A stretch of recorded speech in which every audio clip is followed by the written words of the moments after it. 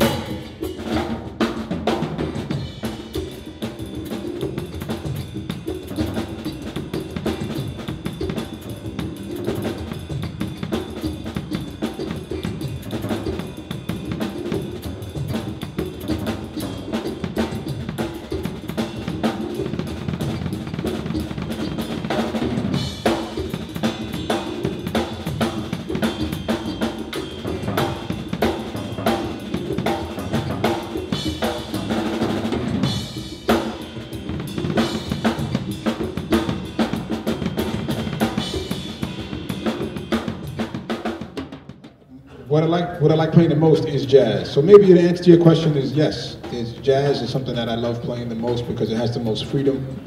It allows me to um, bring other sounds to the table without the audience just being so offended. So uh, I like that kind of jazz world where, where the bars are lower and you have more room for improvisation and more room for expression. So I take that back. It's a great question. I would say yes. I love everything, but that's the one I, when I have time to lean, I lean toward because of the creativity and the freedom it gives me to express myself.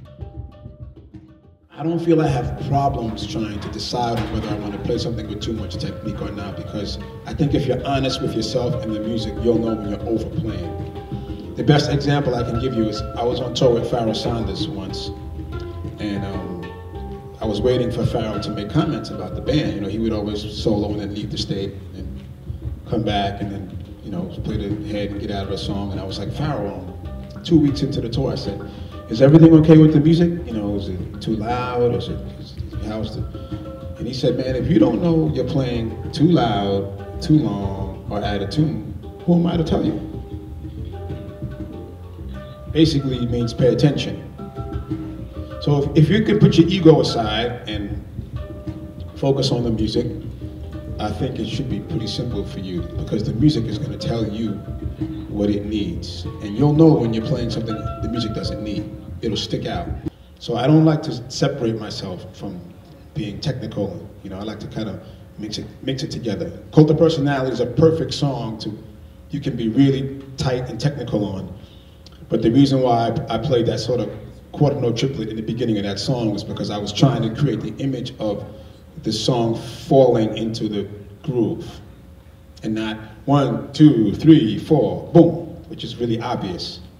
So it's do ba da go down, do ba da go down, ba go down, do that, two, one. Understand.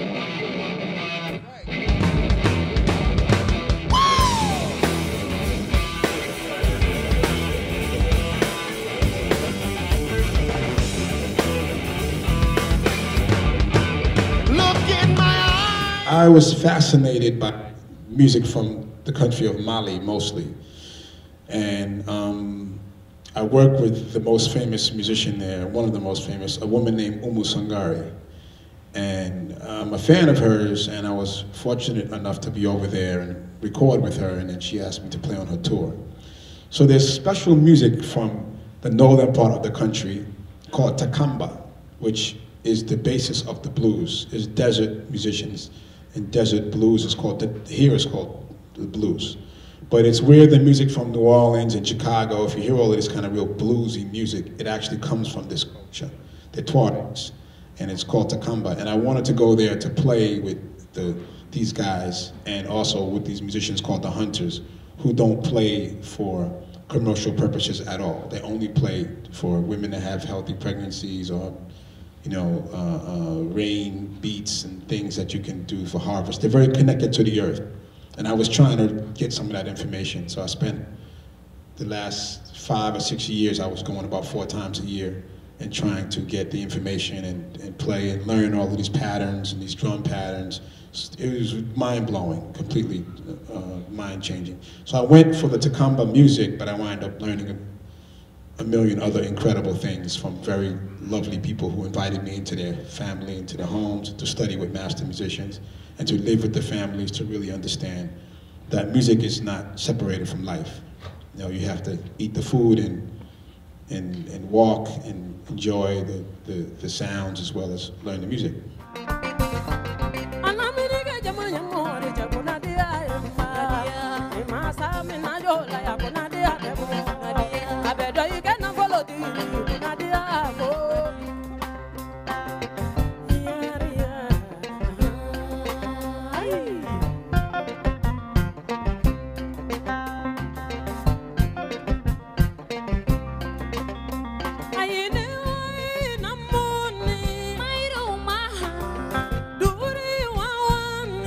Learned how to play myself. I played to records.